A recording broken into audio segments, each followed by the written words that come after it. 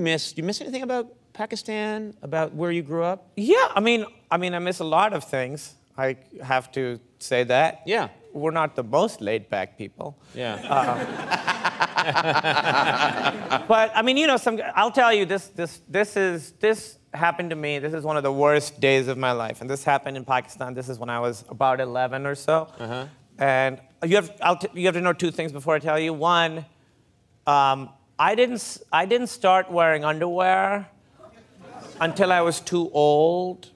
Like, okay, this is the story of I didn't know there was an age limit Yeah. on underwear wearing. I feel like 11's too old to not be wearing underwear. Oh, so right? you? Oh. What I'm saying? Yes, you. st- You didn't start wearing underwear until later on. And- until this. Sto- this is the story of why I started wearing underwear.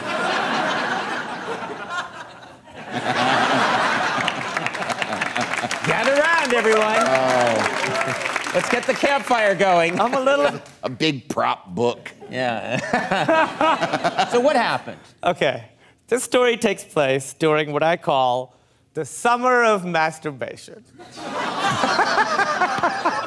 they're, they're not related, they're not connected in the way you think. Okay. This is the summer where I discovered masturbation. Yeah. And I was really just pouring a lot of my time into that. Yeah. That was sort of like my project. I'm same way. Right off the bat, I was a fan. Yeah. Yeah. Yeah. Oh, yeah, totally. It's like when I first saw basketball, I was like, oh, I'm gonna like this forever. Yeah. That's how I was with masturbation. Right.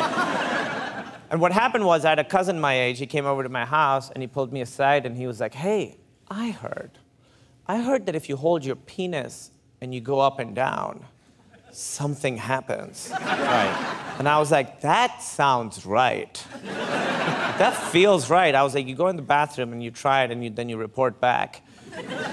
He's in there for three minutes. He comes out and his face is red, which is very hard for my people to get a Yeah. red face. Yeah. Yeah. His face is red. I asked him how it was, and his lips moved, but no sound came out. And then I swear, he picked up a BB gun and shot a crow. And I was His like, face was red. He didn't speak. He picked up a BB gun and, and shot a crow. Shot a crow. And I was like, I'm doing this right now. yeah. Tonight we become men, you know?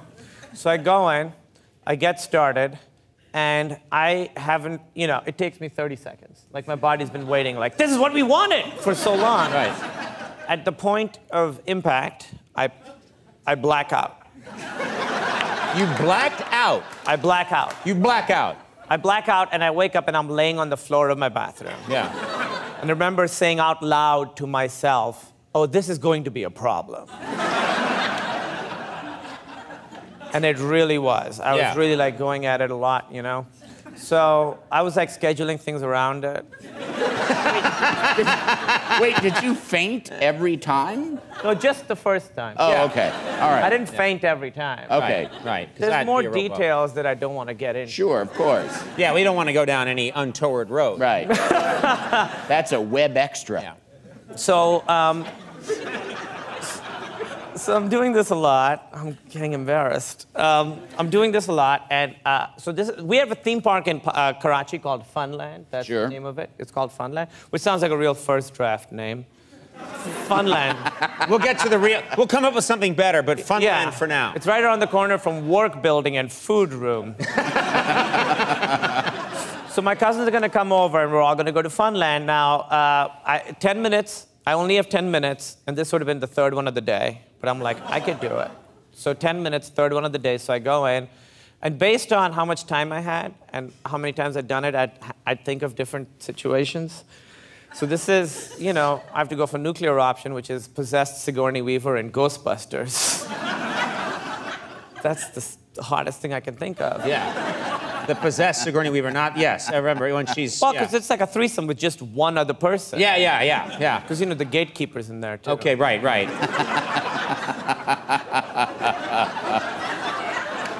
So, imagine that little kid telling you this story. so, um, my, uh, I get started and I've mistimed, mistimed it. My cousins show up. My mom's yelling at me, "We gotta go, we gotta go." Very stressful. I get it done. I get the job done. I, I pull up my pants. If you remember, this, I didn't wear underwear. Ah. zip through my penis. I zipped through my penis. I didn't. You didn't chop it off. No, that would have been the first thing I would have mentioned. I would I would have been like, this is You're the right. story of how I lost Right. my dick. You're right, right. That would have been Right. different title. Yeah. It would have been a different title. Yeah. There You're also, right. in the intro, we would have said Star of Silicon Valley, Dickless, Yeah. mailman.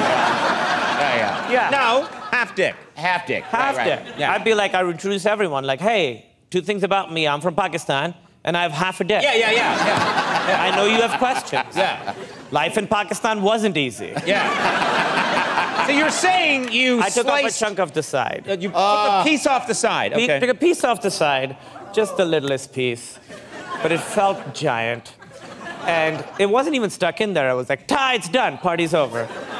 And it's bleeding, and it's bleeding a lot. And I'm a kid. I don't want it to get infected, so I get my dad's aftershave, Oh my God. And I Oh poured the God. whole bottle down there. And it felt like if fire had teeth. It's like the kind of pain where you're flashing like football highlights and pictures of all your dead relatives and the orcs marching out of Mordor, Yeah, yeah. which those movies hadn't even come out. Right, It right. hurt so much I had a prophecy.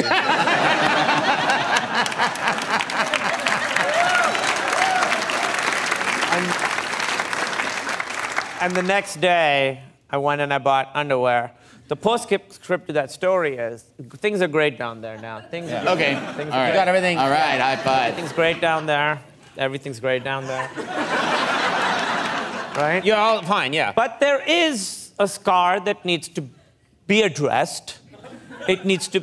And so now I'm married, so it's fine. But for years, when I'd gotten charmed someone to the point where they might see it, I kind of had to prep them. I had to be like, hey, when you get down there, there's gonna be something weird. It's not that weird. it's kind of weird. In Pakistan, we had a theme park called Funland. What a nice story to tell.